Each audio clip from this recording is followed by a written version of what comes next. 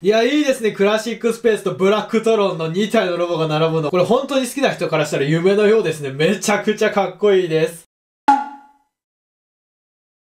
では、合体させます。ちなみに、ギャラクシーソルジャーの時には4体のミニフィグが余ったんですけど、今回のトロソルジャー V2 はパーツは一切余りません。では、合体させます。まずこのパーツを外して、この部分も取り外します。まあ、基本的に全部バラバラにする感じです。このパーツも外して、ここも外します。続いてはこの部分も外します。続いて取り外したこの部分なんですけど、このヒンジを使ってここを取って、で、ここにヒンジがありますので、このように合体させて、で、ヒンジを倒して、この武器を取って、この部分に取り付けます。はい、これがロボの足になります。反対側も一緒で、この部分を取って、で、畳んで、で、この部分に合体させて、で、武器を合体して、ここに取り付けます。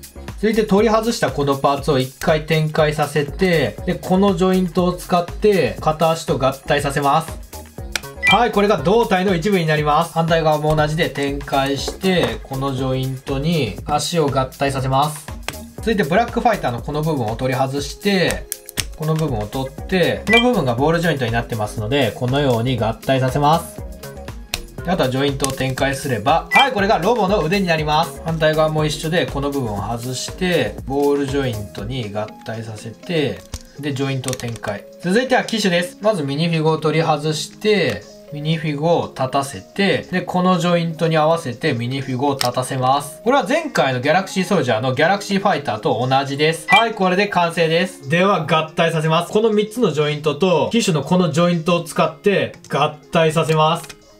反対側も同じように合体させると、はい、これで胴体になります。続いてこのジョイントに腕を取り付けます。反対側も一緒です。続いてはこちらのパーツをこのように持ってきて、このジョイントを使ってここに合体させます。そしてこのまま倒して、ヒンジでこのように調整して背中に密着させます。そしてこのパーツをここに合体させて、この部分を取り外して、ここに合体させます。